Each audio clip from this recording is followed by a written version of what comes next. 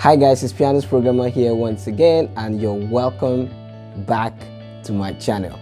Well, it's been a couple of weeks on this channel and yeah, I'm back with another great stuff from GarageBand. Of course, GarageBand. Definitely I'll be doing more tutorials on different softwares very soon. I want to also explore the Android operating system and find music apps that looks like GarageBand which I'm going to demo in coming weeks.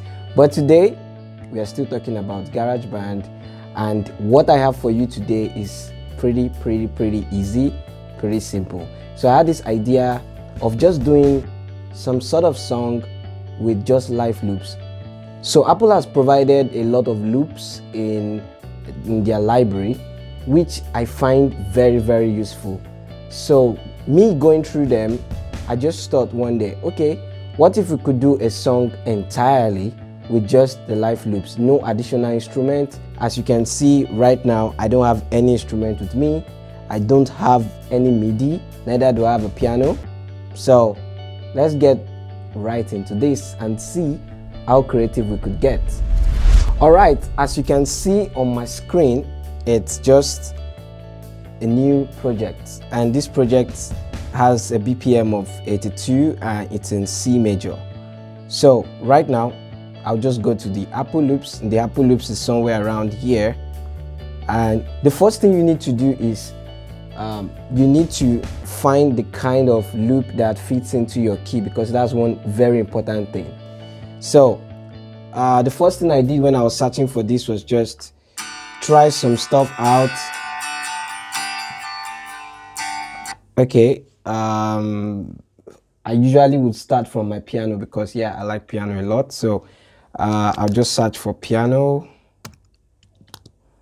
piano, uh, piano, piano, piano, piano, piano. Or I could do, okay, yeah, this is a piano. Oh, that sounds good. Oh, so I have something in my head already just listening to this. It's like da da da da da.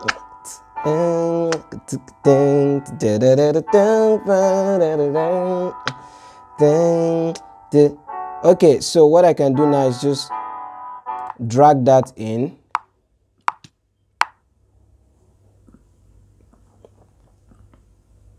So I just drag this in yeah and that's loop already. So I can loop this.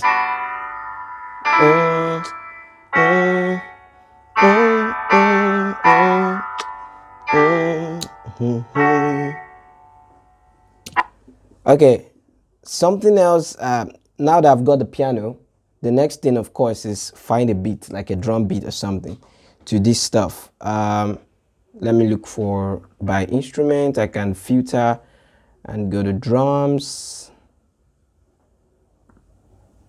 Uh, something Turkish. Okay.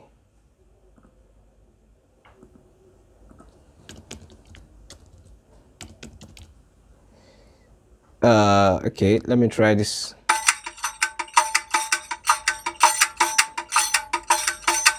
I don't like that. So let me try this one. Yeah, this has like the African feel. Nice. Okay. So I'll just also drag that in. Just delete this track. It's gone. Okay. Now let's hear that sound.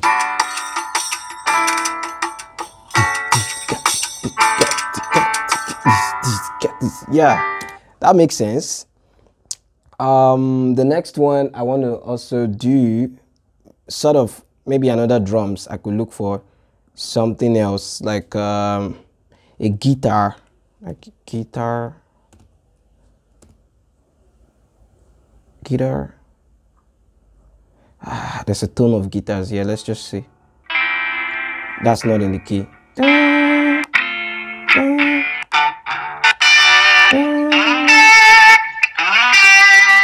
yeah something else i must say is that uh, these loops for instruments they have like a chord pattern, like chord sequences. So you need to find the right one for the chord sequence that you have.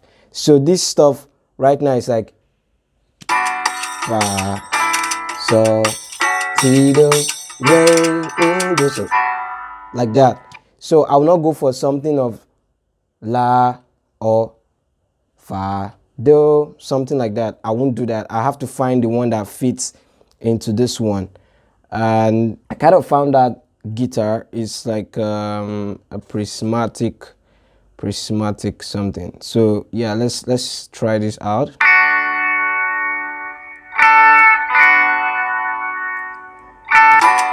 so you can try that as you're playing as well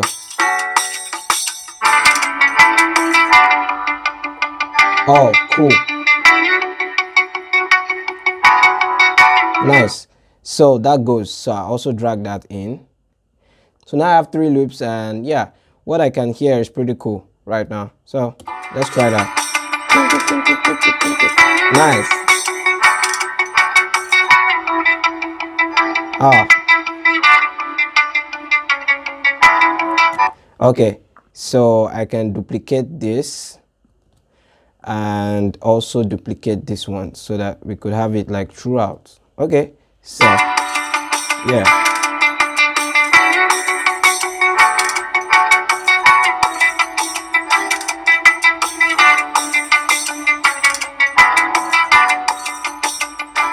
okay um, i still need to look for something to really pop this drums because it's not there yet like i need that percussion or something and latin percussions are always that thing that i look for. So latin uh okay this is not popping enough. Is not popping enough. Uh we can try this. We'll probably need this one later. Hmm, let's see. Ah, cool. But then that's not what I'm looking for, but it goes. It really goes. Nice. Maybe this is what I'm looking for.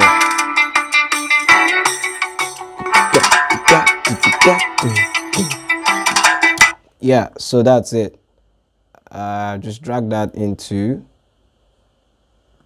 and duplicate that so many times okay. So uh, now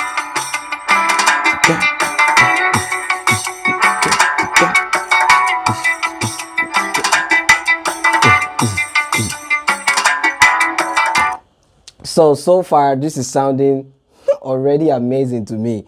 And if you're going to make a complete song with just these live loops, of course, you will not use all the sounds at the same time. So maybe in your verse, you could lay out the piano and guitar only, and you just begin to spread them out gradually until you use them all.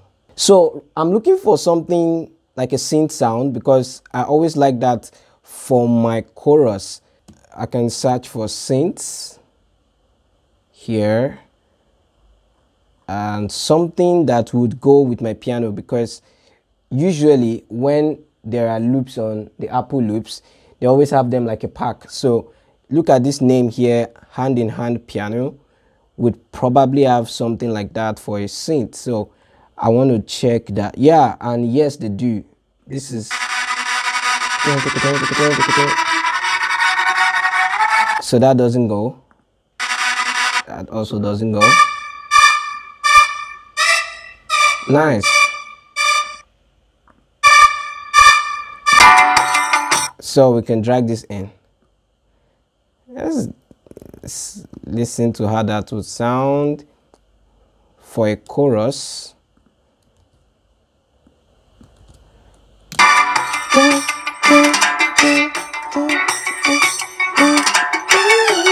Nice, nice, nice, nice.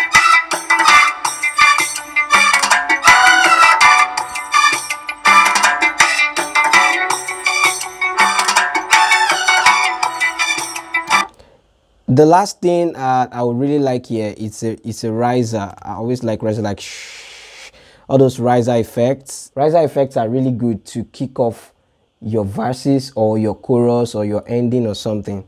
right? So I'm looking for a riser. I found one called Free Fall, Free Fall Reverse. Yeah.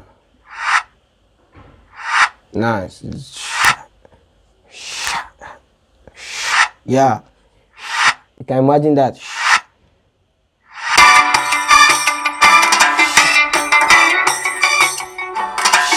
Ah, it sounded dope. So I could just drag it in and I think that should do that should do it for me and just make this cool.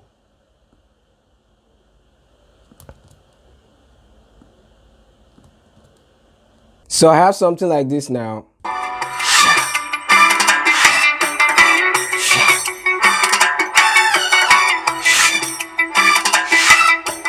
Okay, so that's cool. So the last thing I want to do is, yeah, just probably have like uh, a small vocals on this, like a hook, something that would really make sense. So I wrote this a couple of days ago. It says, another day, another way, another place, everything that I do. Don't know my faith, but I've got some faith. Jesus, I'ma trust you. Yeah, Jesus, I'ma trust you. Okay, so let me try this out now. As you can see, I don't have any mic, no condenser mic whatsoever, no gear. So I'm not going to record my vocals. I'm just going to layer my voice on this beat right here. Have a listen. Another day, another way, another place, another thing I do. Oh, that was killing actually. I think that key is too high for me, so let me change it. I'll be comfortable in C for something like this. And yeah, this key is D major right now, which is not what I need. I need C major, so I can change that. Yeah, something I should say is that beautifully, Apple Loops has been designed to fit into any key that you use on this DAW. As I just changed the key from D to C, reducing that by a tone, everything in this project now is in C. Everything. I, when I say everything, I mean everything. So here it in C now. You can see that that reduced by a tone, of course. That feels better for me to sing in now. I, I, I feel more comfortable to sing in this key. So let's try it out.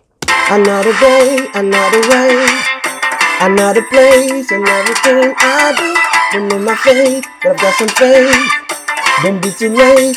Jesus, I'ma trust you. Whoo! Yeah, sounds like a good hook.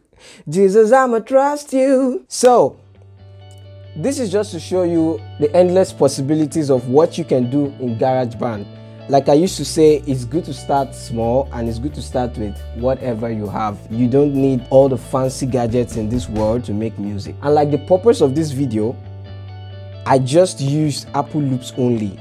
And if I continue with this project now, I can spread out all these loops and make a cool song of it with even these lyrics I have. So try your hands on Apple Loops. First of all, you want to select the key, the tempo, I mean the BPM, and find a particular loop that fits into the chord lines that you want, and then other loops that also fit into that first chord line that you want as well. Because, like I said before, not all the loops fit into chord lines, especially the loops that have to do with instruments and not drum sets. So that will be all for this video. If you have any question, you can drop them in the comment section. I'll be very glad if you come up with your own version of Apple Loops alone without any other instrument. Make it a challenge for yourself when you're done whatever it is you are able to come up with either a full song in mp3 or you upload as a video showing what you did with the GarageBand you can send me a link in the comment section. Also don't forget to give a thumbs up to this video if you liked it. Ultimately hit that subscribe button those of you that have subscribed to my channel recently i want to say a big thank you to you. I'm amazed by the love that you guys are showing me on my channel. The numbers are growing rapidly so yeah if you have not subscribed hit that subscribe button and the bell beside it. It gives you notification when i post a new video. Until next week bye bye